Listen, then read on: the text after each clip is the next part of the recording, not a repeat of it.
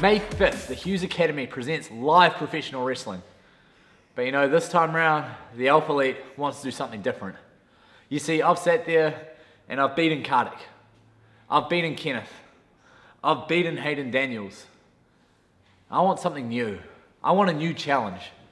So Hughes Academy, I want you to go out there and I want you to find someone who wants to step up and take on the Alphalete. Because I can guarantee you one thing, they won't be better than me. And after May 5th, whoever that champion is, whether it's Daniel Martins or it's Kartik, you better believe I'm next in line for that title shot. So Hughes Academy, New Zealand Wrestling, step up and find out just how much of an alpha I am.